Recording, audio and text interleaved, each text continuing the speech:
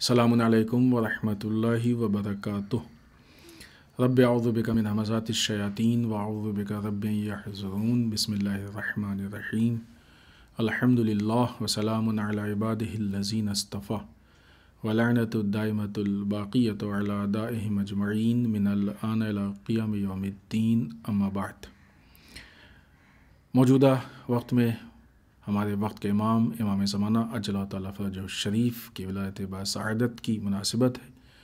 उसकी तबरीक व तहनीत मुबारकबाद आप सब की खिदमत में पेश करते हैं और हम सब की तरफ़ से तमाम मराज, वली फ़कीह, बिलखसूस वक्त के इमाम की खिदमत में ये मुबारकबाद व तबरी तो तबरीक व तहनीत अर्ज़ करते हैं।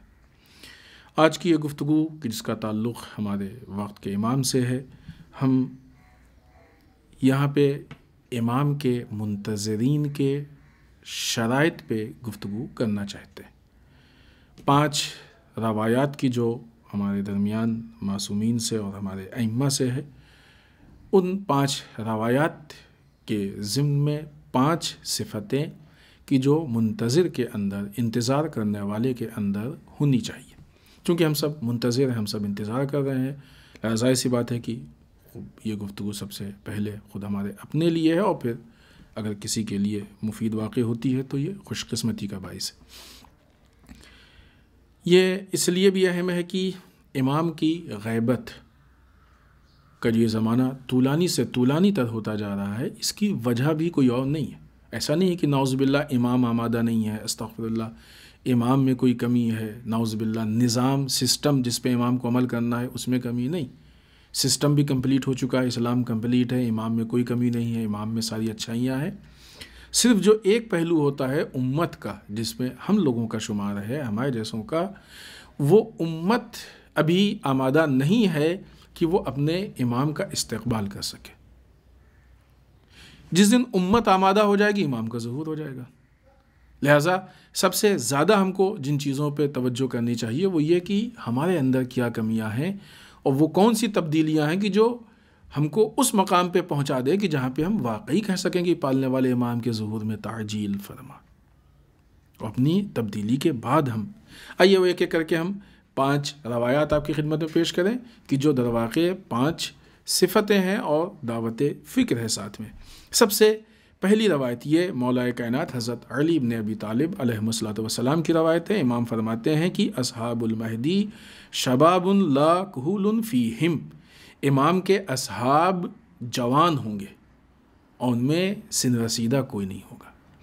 यहाँ पे जवान से मुराद जो है वो आ, ऐसा नहीं है कि एज के हिसाब से जवान होंगे। वो अफराद के जो बेचारे बूढ़े हैं वो मायूस हो जाएँ कि हम तो इमाम के जो है वो असहाब में आ ही नहीं सकते, ऐसा नहीं है। यानी यह कि उनकी सोच जवान होगी, उनका हौसला जवान होगा। अलबत् खुदा न खास्ता नाउज़बिल्ला जो जवानी के लिए है कि जवानी में गुमराही होती है यहाँ पे वो भी नहीं है। जवान यानी ताकत, कुदरत, हौसले, आज़म, मज़बूत आज़म होगा, मज़बूत इरादा, ताकत व कुदरत होगी। लिहाजा जिस तरीके से हम देखते हैं कि करबला के मैदान में भी वो असहाब सरकार सईदुलशहदा इमाम हुसैन के कि जो बूढ़े थे, लेकिन उनका अज़म इरादा जवान था। जो बच्चे थे, उनका भी अज़म इरादा जवान था। इतना इस्तेकाम पाया जाता था।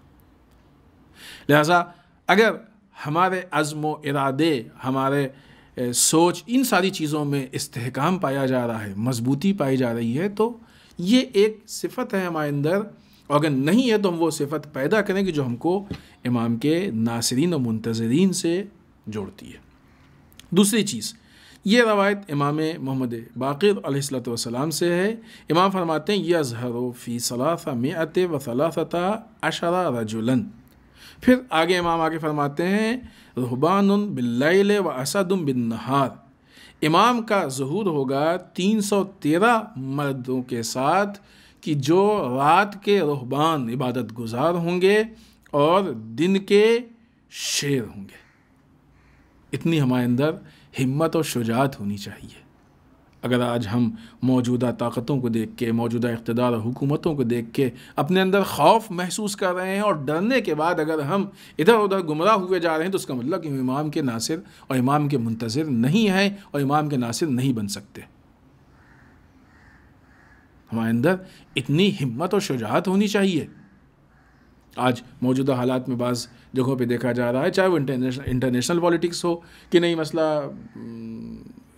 मुनासिब नहीं है कि इसराइल के ख़िलाफ़ बात की जाए, अमेरिका के ख़िलाफ़ क्यों बात कर रहे हैं, और वीज़े की प्रॉब्लम हो सकती है यह हो सकता है, वो हो सकता है। खूब ये डरपोक है, खौफ है। या मौजूदा अंदर के जो हालात हैं, उसमें बहुत सारे लोग मजम्मत नहीं करते हैं गलतियों की, बुराइयों की। खूब डरपोक हैं ये लोग। खूब, ये डरपोक लोग कैसे इमाम के नासिर बन सकते हैं? कैसे इमाम के मुंतज़र बन सकते हैं? नहीं बन सकते। लिहाजा, दूसरी सिफत ये, और नहीं है कि सिर्फ़ जो है वो शुजात हो, नहीं, इबादत गुजार भी हो। इस पॉइंट में दो चीज़ें हैं, रात के इबादत गुजार, रातों को जाग के इबादत करें। यानी एक तरफ़ से इबादत का पहलू। रातों को, चूँकि ये हदीस, हर हदीस एक कंप्लीट मुकम्मल, बहुत बड़ा मफहूम है। हम बहुत जल्दी से, चूँकि वो मुख्तसर वक्त है और अच्छा खासा वक्त गुजर गया है तो अब आगे की हदीसों पर और मुख्तसर, हर हदीस के पीछे एक बहुत बड़ा मफहूम है। हम वो, उस पर बात नहीं कर रहे हैं, सिर्फ़ वो पॉइंट कनवान से पेश कर रहे हैं। मसला एक इंसान जो रातों को जाके इबादत करता है तो खूब यकीन वो वाजिबात पे अमल कर रहा है। तीसरा पॉइंट हम जल्दी से आपकी खिदमत में पेश करें ये भी हदीस इमाम मोहम्मद बाक़िर अलैहिस्सलाम की है। इमाम फरमाते हैं कि अन्नी असहाबिल में वक़द अहातु बेमा बैन खाफ़िन फ़लैसा मिन शाइन हुआ मुतीम ये भी हिम्मत व शुजात से मुतक़ है। गोया इमाम के जो नासिर और असहाब होंगे या कायम, इमाम कायम के जो नासिर असहाब होंगे, हम ये देखते हैं कि वो आलम के शर्क़ से लेके गर्ब तक मुसलत होंगे और कोई चीज़ नहीं होगी कि जो उनके हुक्म को कबूल ना करे। अब ज़ाहिर सी बात इसका मफहम ये नहीं है कि मसलन एक हुकूमत कायम होगी और ज़ाहिर से, ज़ाहरी मफहम तो ही समझ में आता है। और हर आदमी उसको फॉलो करेगा, खूब ऐसा तो नहीं है, क्योंकि वो तो इमाम के जहूर के बाद होगी। इमाम के जहूर से पहले ऐसी इमाम के चाहने वालों की हुकूमत की जो पूरी दुनिया पे, मगरब से मशरक तक हो, नहीं होगी। हुकूमत होगी, लेकिन ऐसी नहीं होगी कि जो पूरी दुनिया पे वो आके, यानी रसमन उसकी हुकूमत हो। फिर, यानी उनकी पॉलिटिक्स इतनी मज़बूत होगी। आज पूरी दुनिया मिलके अपनी पॉलिटिक्स तय करती है, बातिल पॉलिटिक्स, लेकिन जब उसके मुकाबले में हमारे रहबर मौज़म की हक पॉलिटिक्स आती है तो मजबूर हो जाते हैं। चाहते नहीं हैं, लेकिन मजबूरन जो फ़ैसले रहबर मौज़म लेते हैं, उन फैसले के मुताबिक चलना पड़ता है। ये हक़ का इकतदार है। कुरान मजीद ने भी इस्लाम की जो तारीफ़ की हुई यही, कि दूसरे अदियान पे गालिब आ जाएगा, और मुशरकों को बुरा लगेगा। तो इमाम के अनुसार ऐसे होंगे। फिर उसके बाद चौथी चीज़ जो यहाँ पे ये इमाम सादिक सलाम की हदीस है कि मन सर मिन असहाबिल कायम फ़लियंतज़र वलियामल बिलवर व महसन अखलाक व हुआ मुंतज़र। इमाम फरमाते, इमाम सादिक फरमाते हैं कि जो शख्स भी ये चाहता है कि इमाम महदी अजल जो शरीफ के नासिरों में से हो जाए, उसको चाहिए कि वो इंतज़ार करे और अपने कामों को, अपने अमल को तकवे के साथ अंजाम दे। अपने अमल कोई भी काम करे, तकवे के साथ करे और उसके अंदर खुश अखलाक़ी पाई जाए अच्छा अखलाक पाया जाए। ये इमाम का मुंतज़र है। पाँचवीं हदीस की जो सातवें इमाम इमाम मूसे काजिम सलाम से है, इमाम फरमाते हैं, लौकाना फ़ीकुम इद्दत अहल बदरिन लकामा कायमुना। इमाम फरमाते हैं कि अगर तुम्हारे दरमियान असहाब बद्र, जिस तादाद में, जो तादाद असहाब बद्र की थी, उस तादाद में भी तुम्हारे दरमियान असहाब पैदा हो जाए तो हमारे, हमारा कायम क़याम कर देगा। असहाब बद्र, यानी मुख्तर तरीन तादाद थी। बद्र आलम इस्लाम की पहली जंग है। लिहाजा अगर उतने भी जब अवाइल इस्लाम, सदर इस्लाम में जितने वाकई मुसलमान थे हाँ असहाब बद्र क्वालिटी के अदवा से मोमिन कामिल हैं।